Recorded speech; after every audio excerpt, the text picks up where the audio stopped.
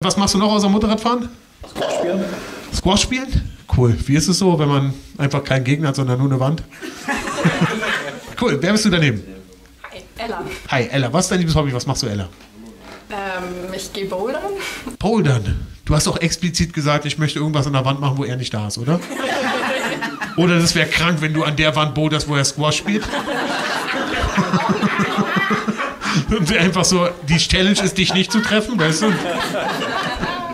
Okay, cool. Seid ihr bei dem Pärchen? Bro, da lehnen sich sogar die Italiener vor, Alter. Das war wirklich unangenehm für uns alle jetzt. Also, woher kennt ihr euch?